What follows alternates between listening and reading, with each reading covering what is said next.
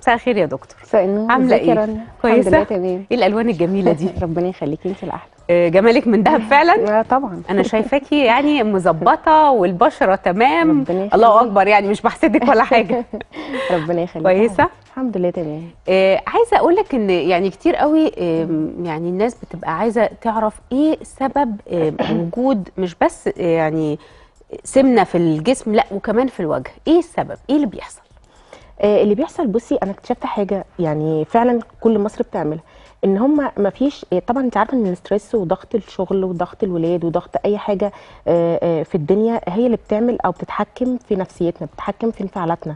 ففي ناس كتيرة جدا آه، أهم سبب موضوع السمنة ليها هو تراكم الدهون، عارفة يعني عدم التحكم في الانفعالات. ما هو عدم التحكم في الانفعالات بير بيرفع عندك هرمون الكورتيزون. يعني مثلا تلاقي واحدة متضايقة تقول لك أنا أول ما أتضايق آكل كتير أفتح التلاجة آكل أي حاجة قدامي وأي كميات. عدم التحكم في الانفعالات بتاعتها. إيه ده آه، هو أنا نفس ممكن الحكاية لو اتضايقت ممكن ده يأثر على هرمون الكورتيزون فأتنفخ مش لازم آكل؟ مش لازم تاكلي لأن هو المفروض المشكلة عندك إن ارتفاع هرمون الكورتيزون.